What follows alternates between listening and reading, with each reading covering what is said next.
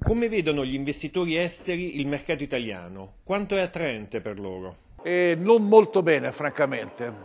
Eh, recentemente abbiamo iniziato questa ricerca che chiamiamo osservatorio con uh, Ipso, che è la società di Mannheimer, proprio per individuare eh, qual è il grado di attrattività del sistema Italia, non tanto visto dalle agenzie di rating o dalle comunità finanziarie istituzionali, ma quanto veramente dagli operatori.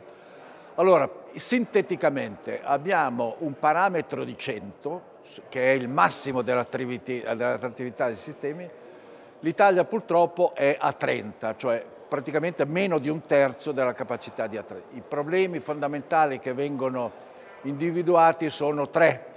La burocrazia, che è considerata ormai il um, freno più importante per gli investitori esteri a venire in Italia.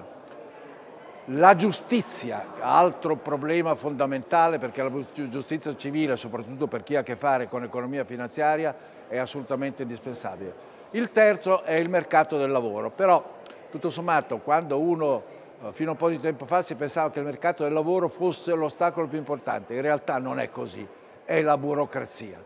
Di qui quindi uh, l'analisi fondamentale che questo Paese, prima ancora di aspettare le riforme di politica monetaria dell'Europa, ha bisogno di fare veramente una serie di riforme fondamentali per poter essere competitivo con gli altri sistemi. Invece il mercato strettamente finanziario è interessante per gli investitori stranieri? Il rischio Italia è accettabile e offre opportunità? Allora, questa è una domanda interessante. Il mercato finanziario è molto attraente per il, la finanza internazionale, lo è sempre stato, lo è e probabilmente lo sarà. Questo perché? Perché l'Italia è un paese molto finanziarizzato.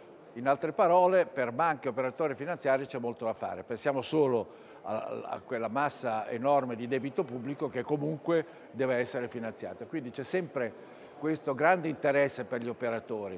Pensiamo per esempio al fatto, come si diceva prima, che ehm, le società eh, e, e le aziende si rifinanziano in larghissima misura col credito bancario. Quindi insomma c'è moltissimo da fare. È un mercato attraente che può creare e generare profitti. Dal punto di vista del rischio Naturalmente c'è sempre un po' di eh, attenzione e di dubbio, però le cose mi sembra che stiano leggermente migliorando, anche perché obiettivamente Renzi sta creando delle attese importanti.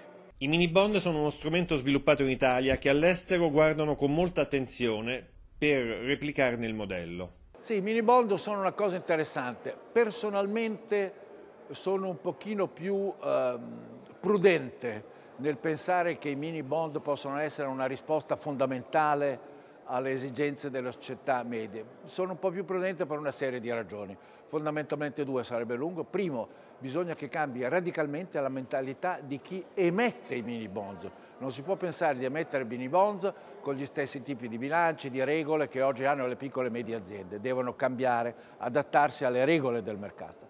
La seconda è naturalmente che stessi, le stesse banche devono cambiare un po' di mentalità e aiutare queste eh, società e questi loro clienti a trasformarsi in soggetti attivi del mercato. In altre parole, è una buona idea, ma ci vorrà un po' di tempo prima che possa diventare fondamentale. Quale ruolo hanno le banche estere in Italia e quali vantaggi possono portare? È un ruolo molto importante, insomma da sempre hanno avuto prima di tutto un ruolo di innovazione fondamentale, questo parlo degli anni 50, adesso devo fare la storia. Ancora oggi naturalmente eh, hanno un ruolo importante sia dal punto di vista della banca retail, non dimentichiamo che oggi il 17-18% del mercato retail è in mano a banche estere, sia naturalmente, ma questo lo capiscono tutti, dal punto di vista della banca di investimento, cioè tutta una serie di eh, operazioni finanziarie di alto livello, di ingegneria finanziaria, debt capital market, equity capital market, securitization del quale abbiamo parlato, eccetera, sono naturalmente in larga misura, eh, non dico in mano, ma insomma vedono le banche straniere come attori o attrici principali.